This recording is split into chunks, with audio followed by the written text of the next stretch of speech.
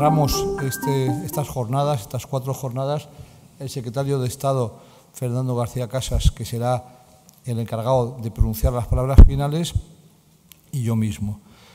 Eh, lo primero es decir que yo creo que estaréis todos de acuerdo en que, en que ha sido maravilloso el marco, el contexto en el cual hemos trabajado. Cuando el secretario general y yo mismo barajamos distintas opciones, terminamos por eh, elegir Málaga porque nos parecía una ciudad que combinaba pues, eh, muchos siglos de cultura, que los hemos visto en el Museo de Málaga, y una apuesta actual de la cual solo hemos visto una pequeña parte, o sea que era optimista pensar que iban a quedar muchos huecos para ver el resto, pero yo creo que los que no conocíais la ciudad, pues habéis decidido que volveréis por vuestra cuenta para, para ver el resto del iceberg, ¿no? porque es un, realmente un iceberg esto, o sea, cada museo tapa otro detrás, o sea, y, y, y el mismo museo ruso, pues teníamos al lado ese Aston Martin que nos invitaba a perdernos por un museo del automóvil que, que no, hemos, no, hemos, tenido tiempo de ver. No sé si alguien ha tenido tiempo, pero yo luego no he tenido tiempo.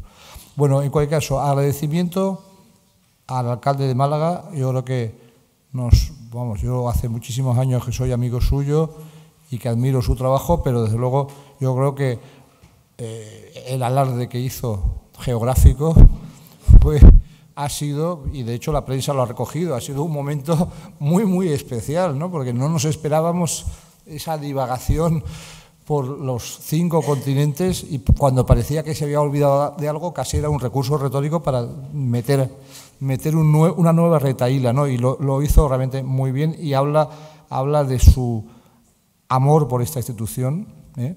y de su conciencia de, que, de que efectivamente la, frase esa de que sois los mejores embajadores a partir de ahora de Málaga, pues lo, lo, habéis sido de muchos otros sitios antes. Somos politeístas en ese sentido. Nosotros no podemos decir que vamos a solo decir que haya que venir a Málaga, ni que solo haya que estudiar español en Málaga. Hemos recibido en nuestros centros, yo hablo como exdirector de centro, yo he recibido algunas de las personas que estaban en la sala escuchando la sesión de turismo idiomático, los he recibido en París, como estoy seguro que muchos de vosotros los habéis recibido, pero también si vienen los de Salamanca, obviamente también se les recibe. Eso, me decía el presidente de la Diputación, pero un poquito más para Málaga. Bueno, bueno bien, vale. Pero eso, ¿no? eh, el turismo idiomático es una apuesta tan importante para Málaga porque se han posicionado, yo creo que muy bien en ese, en ese sector eh, y efectivamente lo que ofrecen, entre otras cosas, esa oferta cultural, pero también gastronómica, turística, en el sentido, eh, vamos, usual de la palabra también, todo lo que, lo que ofrece esta ciudad y esta provincia está clarísimo. Agradecimiento, por lo tanto, al alcalde, agradecimiento al presidente de la Diputación, que su intervención sobre turismo idiomático fue muy, muy documentada. Agradecimiento también al presidente de la Diputación por habernos llevado a esa maravilla que también es Antequera, que yo creo que que es una maravilla más oculta, menos conocida, pero desde luego donde nos hemos encontrado allí en, los eh, orígenes de la civilización, de la arquitectura, ¿no? con, los, con esos dólmenes. Agradecimiento también al delegado del Gobierno en Andalucía y al eh, eh, subdelegado en Málaga. El, el, delegado del Gobierno nos hizo también en su intervención, nos demostró que conoce muy bien nuestro papel, explicó inmejorablemente la contribución en relación al proceso de nacionalización y, también incluido ese tema que también está muy presente aquí, que es el tema de lo judeo-español. Judeo eh, precisamente hemos, hemos dicho que Málaga va a contar también con un museo dedicado a ese tema, que se inaugurará eh, en el milenario de eh, nacimiento en Málaga de Gavirol, po poeta y filósofo que se expresaba indistintamente en hebreo y en árabe. Agradecimiento, por supuesto, mayúsculo a la corona. Mm, nuestras reuniones de directores siempre está presente en ella la corona. Es algo que es evidente, puesto que los reyes sí que son nuestros mejores embajadores, los mejores embajadores del idioma, eh, eh, participan también en las cumbres, en, perdón, en los, congresos internacionales de la lengua española, el, último en Puerto Rico, estuvieron los reyes y, por supuesto, contamos con su presencia en el próximo, que será en el 2019 en Córdoba, Argentina. Estos congresos los coorganizamos, como sabéis, con la Real Academia Española. Eh, el rey es el presidente de honor de nuestro patronato y eh, tanto los reyes eméritos como los actuales reyes, cuando eran príncipes, pues participaron en muchísimos actos, han participado en muchísimos actos en nuestros centros, en, en inauguraciones o en eventos, digamos, dentro de visitas de Estado y esto es algo que, nos, honra muchísimo. Nos honró también con su presencia en la inauguración el ministro de Asuntos Exteriores. Nosotros somos un instrumento fundamental de la acción de la diplomacia cultural española, somos eh, el instrumento fundamental en la difusión de nuestro idioma, en su enseñanza, somos un instrumento también muy importante de difusión de los eh, frutos literarios de ese idioma nos ocupamos también de las lenguas cooficiales, tenemos acuerdos eh, que nos obligan a ellos y es un trabajo gustoso porque evidentemente eh, cualquier director del Instituto Cervantes, sea cual sea su eh, tierra de nacimiento, sabe que también forma parte de su misión pues explicar, difundir la obra pues, de Josep Pla, de Eugenio Dors, de Maragall, de Foix o la, obra de Gabriel Aresti, o la obra de John Mirande, o la obra de Álvaro Cunqueiro, o Rosalía de Castro, y tantos y tantos otros. Y lo mismo que estamos hablando de literatura, hablaríamos de música, o de artes plásticas, o de arquitectura, o, de gastronomía. Es, es, muy evidente que si hacemos cosas sobre la gastronomía del Quijote o hacemos cosas sobre la gastronomía del Galdós, don Benito el Garbancero, pues haríamos también tendremos que hacer cosas también sobre eh, la cocina de la Costa Brava vista por Josep Pla o sobre la cocina eh, de Galicia vista por, por Cunqueiro. Eh, en ese sentido, aquí, en estas jornadas, pues yo creo que hemos hablado de nuestro actual estado de cosas, de proyectos de futuro, hemos escuchado las recomendaciones de cada una de las eh, cada uno de los departamentos de esta casa. Empezamos por las cuestiones generales, se nos ha hablado de eh, cuestiones administrativas, de cuestiones económicas, de cuestiones jurídicas, de, contabilidad, de seguridad social, de convenios, de lo, de lo complicados que se vuelven los convenios, pero no os asustéis porque después se resuelven.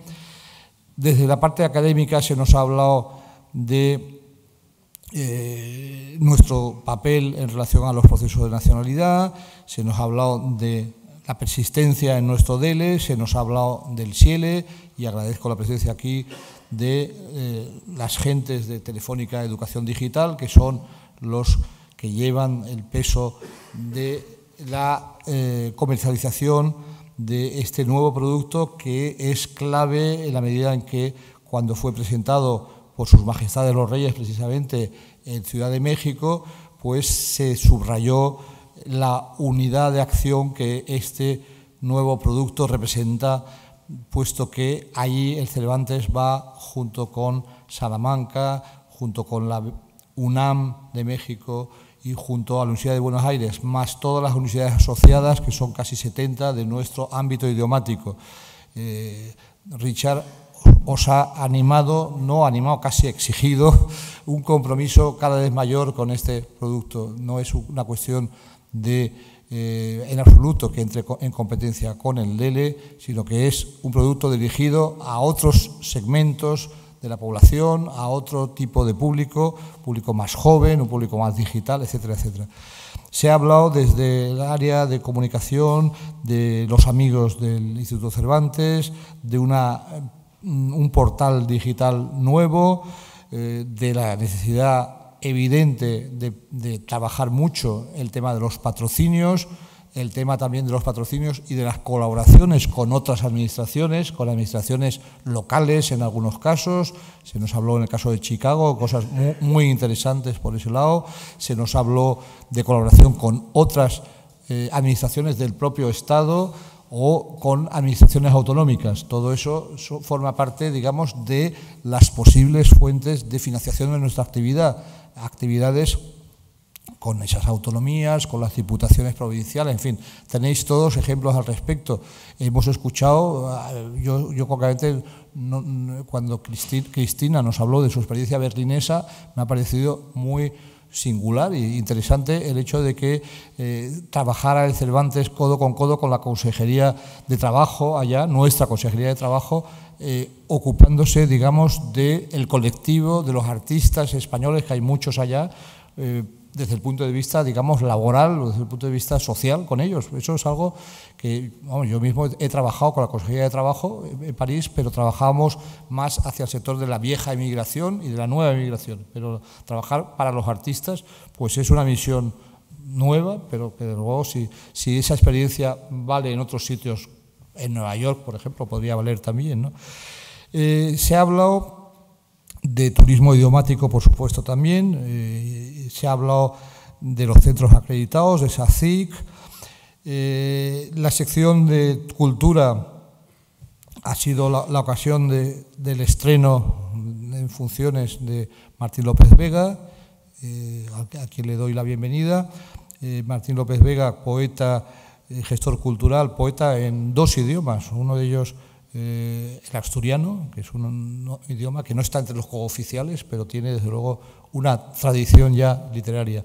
Martín López Vega ha explicado en esa sesión un poco conjunta, ese mano a mano que tuvimos, a la limón, pues ha, explicado unas líneas maestras de un plan cultural que estará más elaborado ya en el otoño, en el cual eh, yo estoy muy eh, convencido de algo que dijo, que es pues que hay que eh, interactuar mucho más entre sede central y centros. Escuchar, es una palabra que repitió varias veces, eh, hacer circular, circular, circular por áreas, proyectos emanados de un centro que puedan circular en otros del mismo país o de países con características parecidas, eh, iniciativas que puedan llegar también al espacio de nuestra sede central.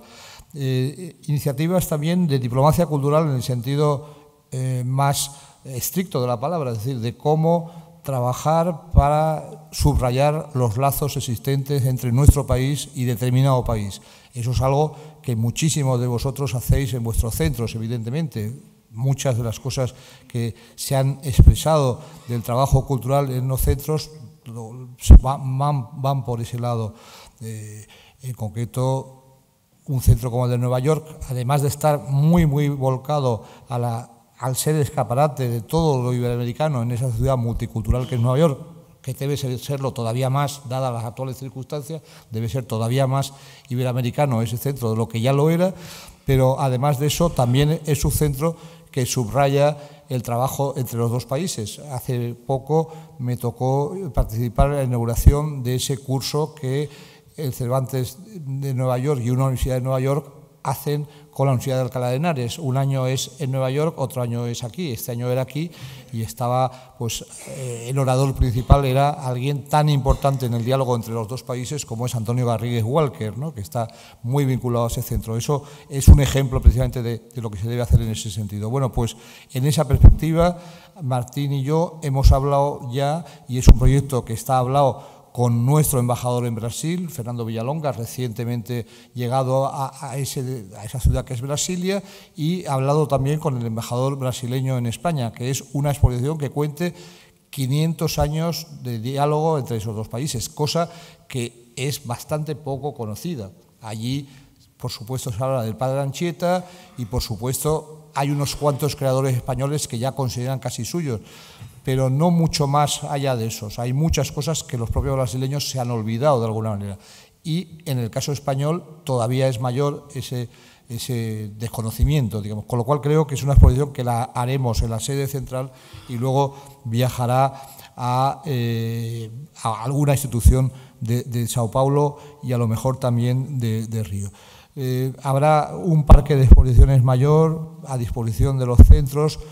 hoy mismo, en la rueda de prensa que hemos tenido hace un rato, yo he subrayado el interés que varios habéis manifestado por ello y que ya estaba, digamos, un poco pergeñándose una, un acuerdo de colaboración con la Fundación eh, Casa Natal Picasso. La casa de la Plaza de la Merced, donde nació Picasso, es hoy una institución municipal y en ella se conservan muy importantes colecciones y especialmente una colección de libros ilustrados con grabados originales por Picasso.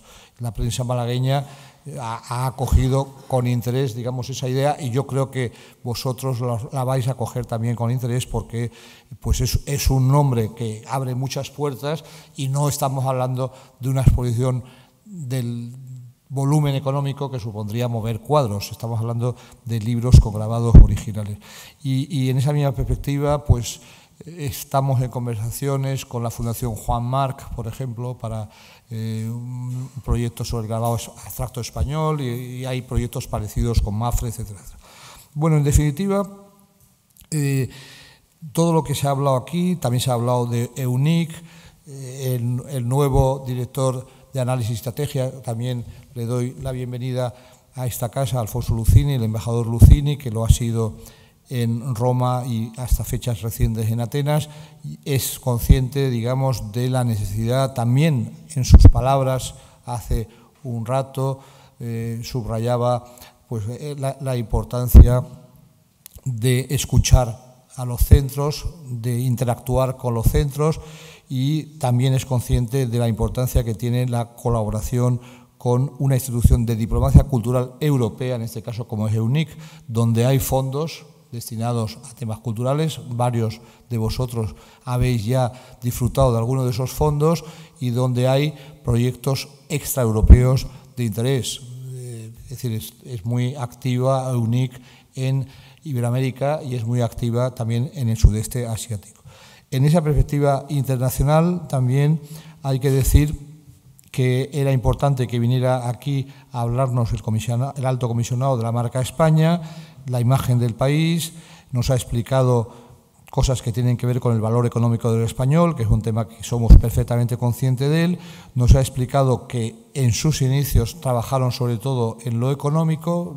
el propio vídeo hay mucha digamos, mucho subrayar las obras públicas, los canales, los puertos, eh, la tecnología, la ciencia, pero ya también está presente la moda, el deporte, la gastronomía y con eso ya nos acercamos a la cultura, donde yo creo que sería deseable que eh, se eh, reforzaran los lazos entre esa institución, esa Secretaría de Estado dedicado a ese tema y el Instituto Cervantes.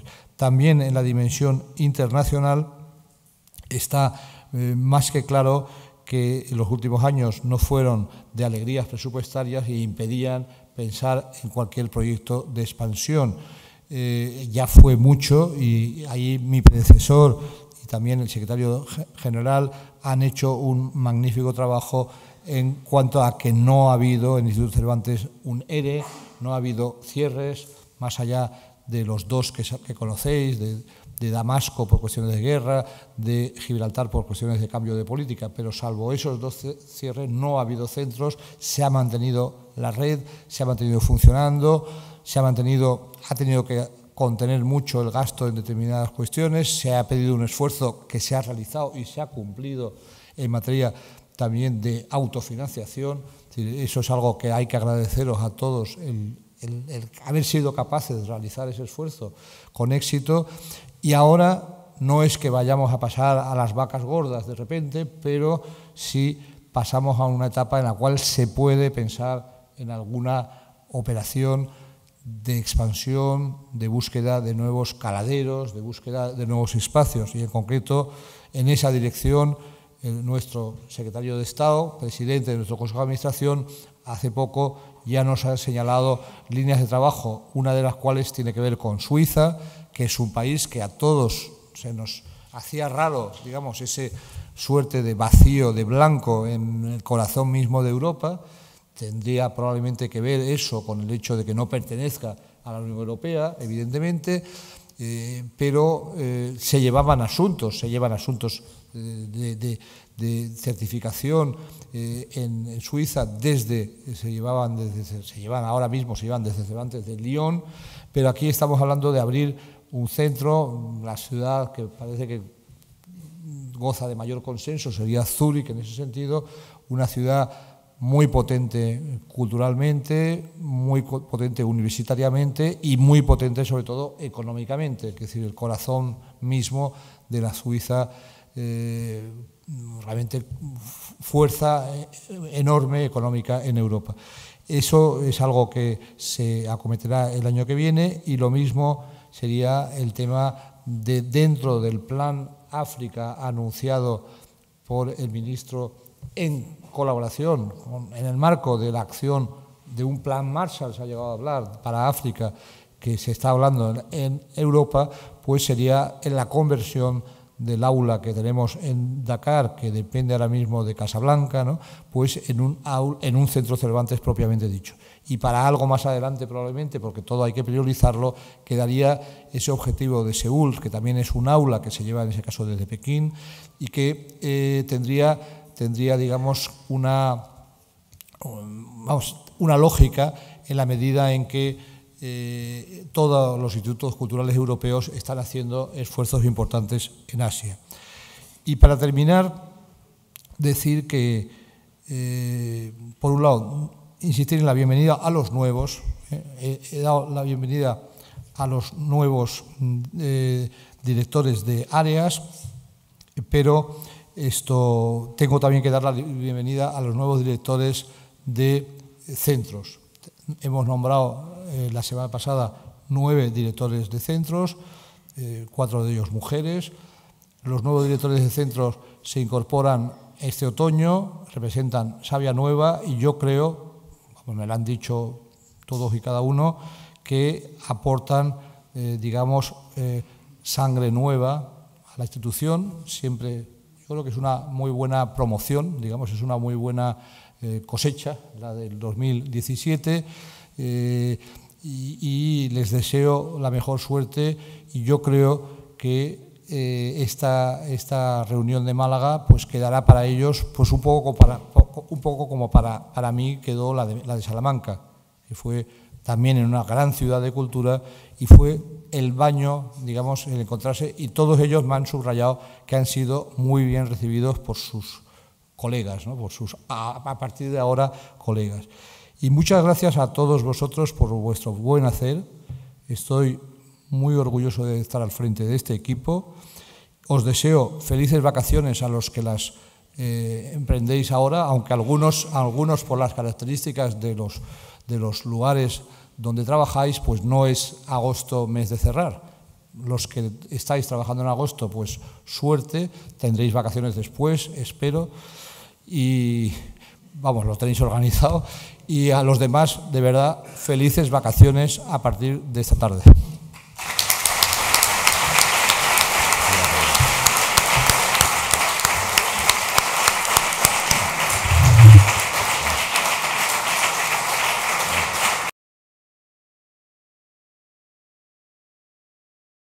Muchas gracias, director. Ya quisiera yo que a mí las ONGs y el sector de la cooperación me aplaudiera así, porque es, más, es un poquito más complejo. Pero bueno, en ello estamos.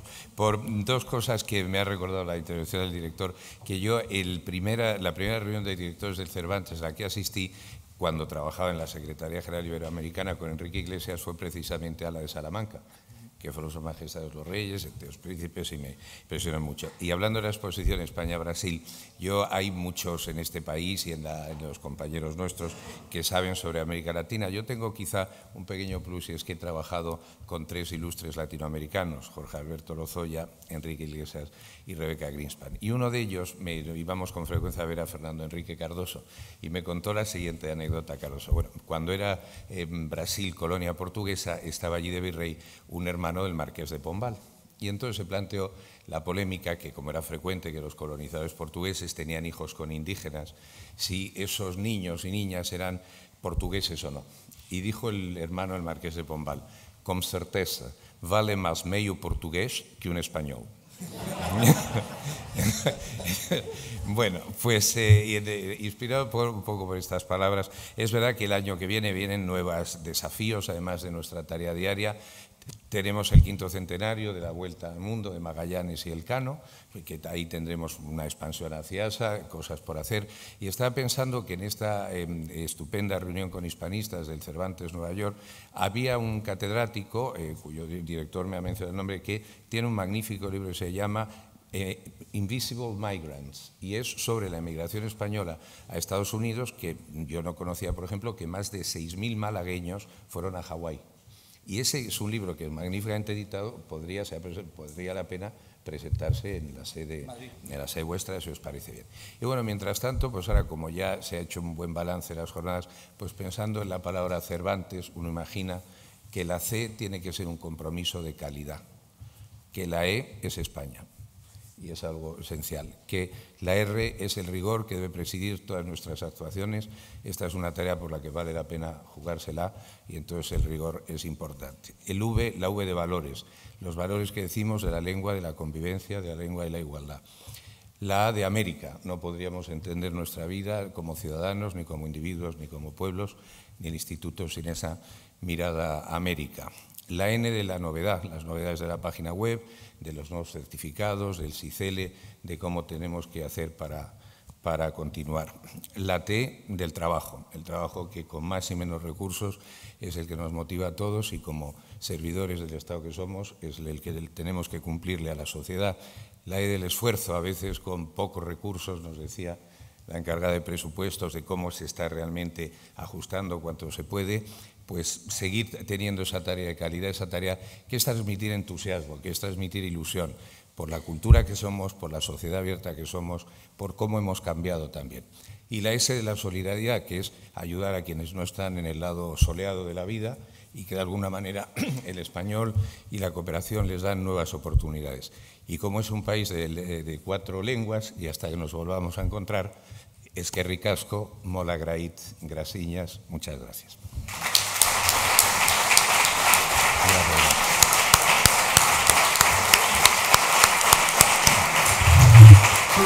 す。